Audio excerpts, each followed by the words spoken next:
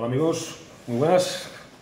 Bueno, hoy estamos con, con una cerveza belga, pero de las, de las buenas, buenas. ¿eh? Esta cerveza la disfrutamos, creo que fue por en, en 2021, por- sobre el verano de 2021, y bueno, nos encantó. ¿eh? Se trata de una San Bernardus de, de Abadía 12, ¿eh? ABT 12 se denomina.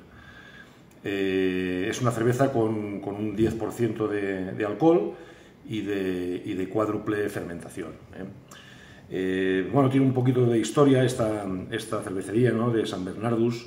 Eh, leemos que, debido al, al anticlericalismo ¿no? que, había a principios del siglo XIX, pues un grupo de monjes procedentes de la abadía Mont des Cats, situada en el norte de Francia, pues se trasladó a Watou, una pequeña aldea belga, y una vez allí pues establecieron el refugio de Notre Dame de San Bernard.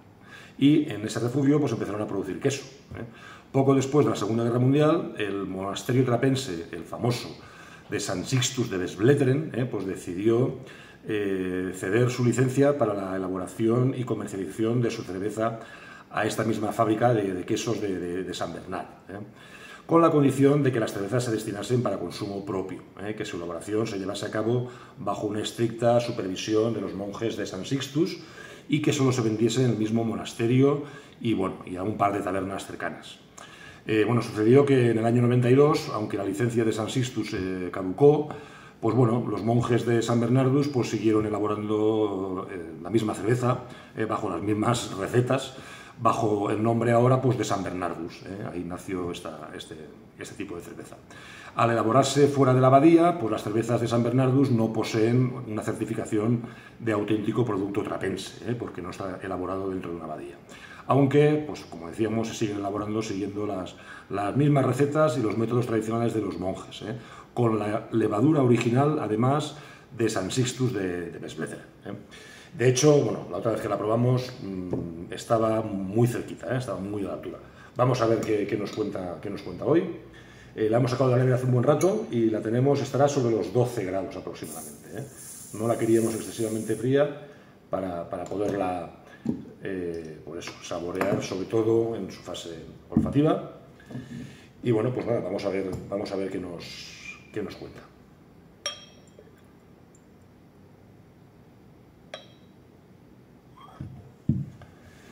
Pues bueno, de entrada, como siempre, pues buenas noticias, ¿no? Miren qué color, madre mía. ¿eh? Es un marrón caoba, ¿eh? yéndose a- al, negro rojizo, ¿eh? muy, muy bonito. prácticamente opaca. Y bueno, vemos como desde la, desde la base pues no paran de, emanar burbujas de, de carbónico, muy carbonatada. La espuma, pues como se puede ver, pues bastante persistente, es una burbuja finísima y una tonalidad pues como, como café con leche, diría yo. ¿eh? Color precioso, ¿eh? una, una pasada. Eh, yo le pondría, pues no sé, un 97, un 98 o algo así. Vayamos con la fase olfativa.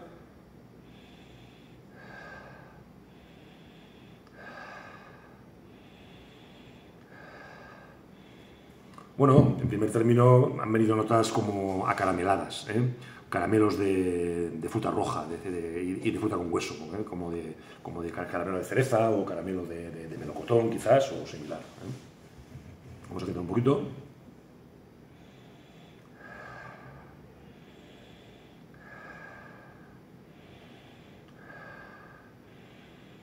Ahora pues nos vienen unos ciertos recuerdos pues, eh, como, como cafetosos, con, con notas de incluso un poquito como de, como de chocolate negro. Y, también diría que hay un recuerdo pacificado, eh, un puntito como de, como de uva pasa.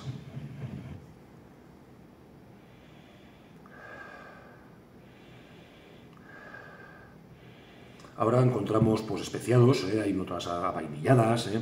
hay un puntito quizás como de, como de fenogreco, como de nuez moscada, así de, de especiados más, más exóticos. Y de nuevo el toquecito ahora es de caramelo, pero de caramelo quemado, ¿eh? bastante, bastante marcado.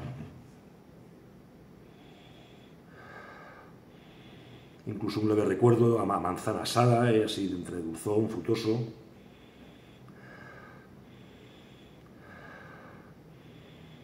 y el toque cafetoso es muy, muy, muy, muy potente y muy claro, es alucinante. También pues, pues, eh, hay mm, recuerdos como, como de achicoria, ¿no? como es el, sucedáneo este del, café. Y, lo, que, lo que se nota pues, bastante marcado son tostados, ahumados, ¿eh? de, pues eso, de, ese, de ese cereal, ¿no? de, esas maltas que se han tostado magníficamente. Y por supuesto, pues bueno, pues un, puntito lupuloso ¿eh? que, está presente en toda, en toda la fase olfativa. Alucinante, ¿eh? una intensidad pues, media alta y, bueno, con, una, buena cantidad de descriptores. ¿eh? Yo le pondría, pues no sé, por lo menos un 96 en, en nariz, 95 mínimo, 96 por lo menos. ¿eh? Y vayamos a, la fase eh, gustativa.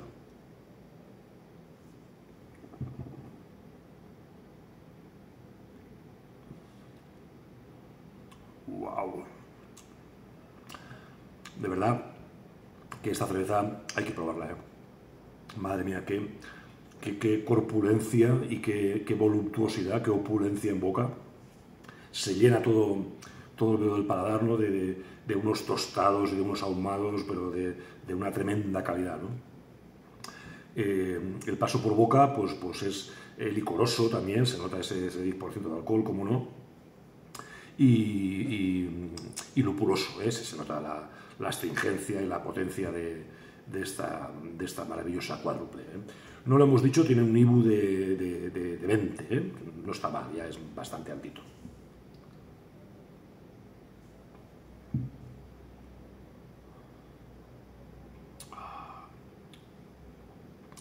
que es una, delicia.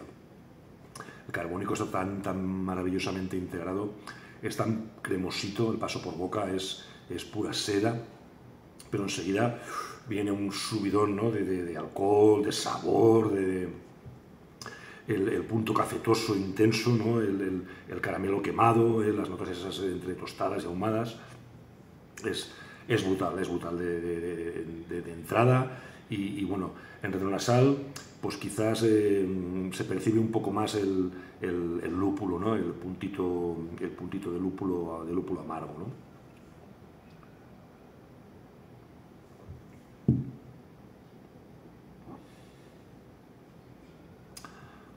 En cada, en cada sorbo te quedas anonadado, te quedas flipando con la, con la cerveza. ¿eh? Mm, inevitablemente hay que compararla con la Vesbretren 12. ¿eh? Probablemente le falta un poco más de cuerpo, ¿no? un poco más de, de, intensidad a lo mejor, pero vamos, está muy, muy cerquita, ¿eh? muy cerquita. El posgusto pues es maravilloso, es como, como nos gusta, ¿eh? con, con, el puntito dulzón de entrada, ¿eh? pues acaramelado, ¿eh? nos recuerda incluso al, mazapán, ¿no? a la ciruela pasa, pero enseguida eh, pues el lúpulo se, abre paso, pero a pasos agigantados y aparecen notas eh, más amargosas, ¿no? Hay un puntito como de algarroba, incluso de achicoria, de, y ya lo diré, de, de como, de regaliz también, ¿no? O sea, tiene un marcado carácter amargo de fondo que le da por eso le da una, una, tremenda, una tremenda personalidad. Es, es una, una, cerveza brutal. Le voy a dar otro sorbito porque quiero, quiero seguir disfrutándola con ustedes.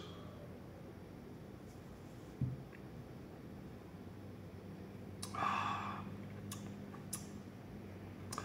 Es una, una pasada. Está, por eso, perfectamente equilibrada y, lo, que, lo que es sorprendente es como poco a poco empiezan a surgir esa gran cantidad de, sabores y de, y de descriptores, ¿no? Eh, la persistencia además es brutal, yo creo que estará pues, cerquita de los 3 minutos. ¿eh? Y, bueno, hemos acertado teniendo a 12 graditos porque se, se, percibe mucho mejor todo su, todo su esplendor. ¿eh? Grandiosa cerveza, esta San Bernardus ABT12, que, que bueno, es una auténtica delicia y no se la pierdan. Además, se puede conseguir sobre los 2 euros y medio aproximadamente por internet, o sea, no es nada cara eh, comparada con los 9 o a veces 12 que te piden por la Desbletter entonces si la consigues. ¿eh? Por eso, amigos, San Bernardus ABT12, eh, recomendable y una auténtica joya. No la he puntuado en boca, ¿verdad? No. le voy a poner un 97. me parece un cervezón, por eso. Eh, la otra vez ya lo dijimos, en el top 5, incluso pues, probablemente en el top 3 de las cervezas que, que podéis disfrutar. Amigos, una auténtica barbaridad.